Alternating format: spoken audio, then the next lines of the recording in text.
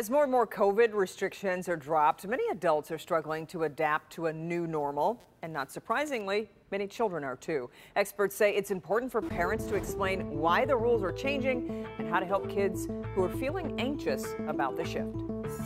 For more than a year, we've had masks, social distancing, and a lot of virtual learning. Now, with vaccinations and lower COVID case counts, things are inching back to the way they were. And that's not always easy either. You might have some kids who are really excited about getting back to normal at first, and then others who are a little more hesitant. Therapist Jody Baumstein says to help your children adjust to new guidelines, start by explaining why they're changing because if the expectation has been one thing for a year or more and suddenly it changes, we can't just expect kids to just adapt and not understand why. Find out what they know and if it's right. Figuring out is what they heard even accurate and true.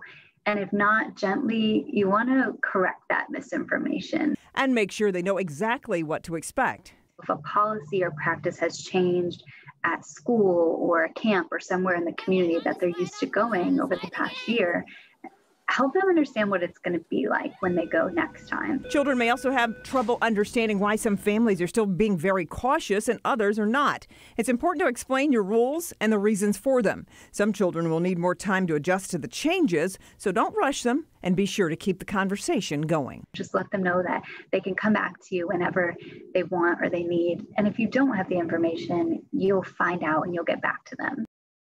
And the CDC encourages parents to get kids over age 12 vaccinated as soon as possible. And health officials also stress that children too young to be vaccinated should continue to wear masks indoors and in crowded places.